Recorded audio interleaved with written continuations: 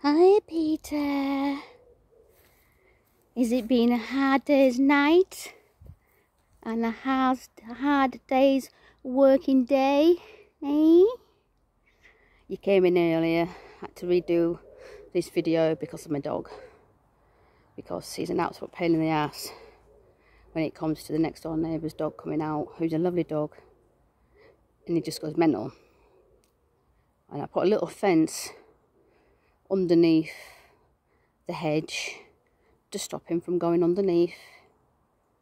But every time he crashes through it and bends it in half and goes nose to nose with the other dog, it just goes mental.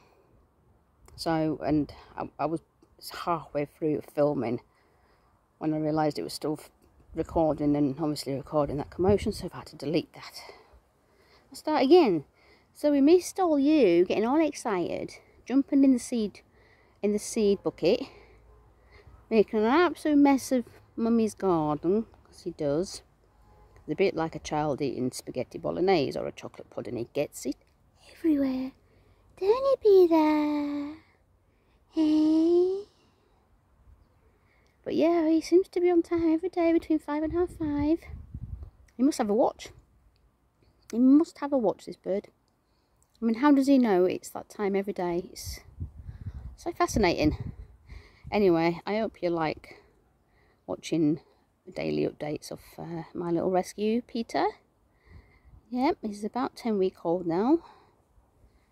Um, as you can see, he's still quite young. He's still got some training to do, like his beak. His beak will just be eventually all yellow and his ear be sharper. We just gave him some nuts. I spent an absolute fortune on on food, just get some more food. Trying with the knot and he couldn't quite get his beak through the knot, so we had to crush it up for him to have a little try. Yeah. But as you can see, it's shattered. My little baby Peter is shattered. So am I. Yes, so am I. I'm tired too. Eh?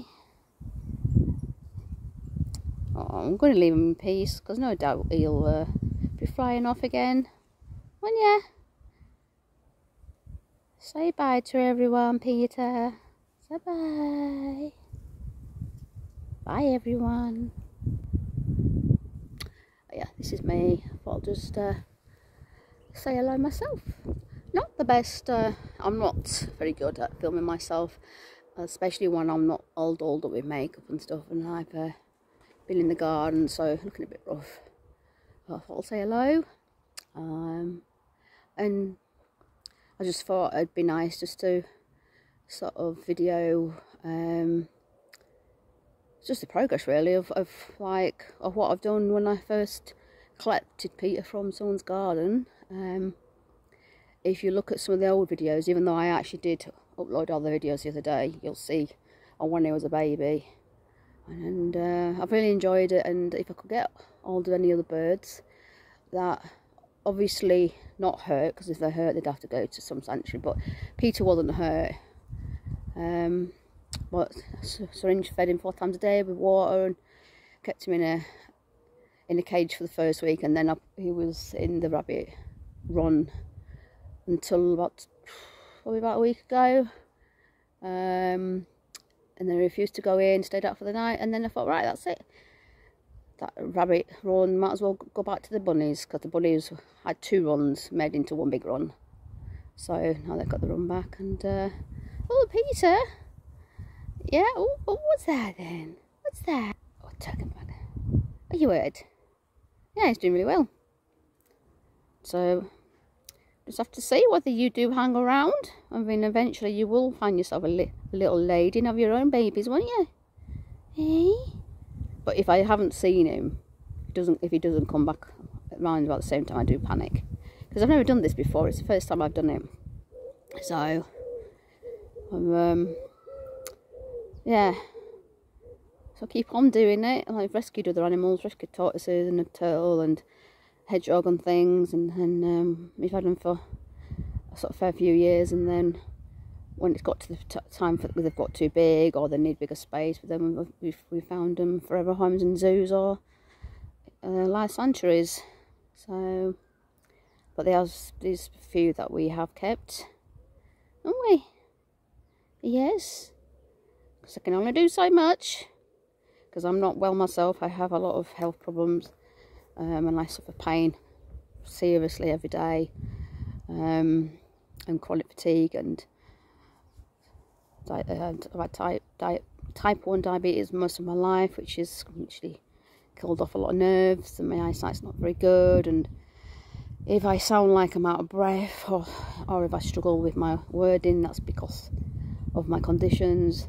So this garden that I've recently um, well, recently moved into a flat and got this massive front and back garden.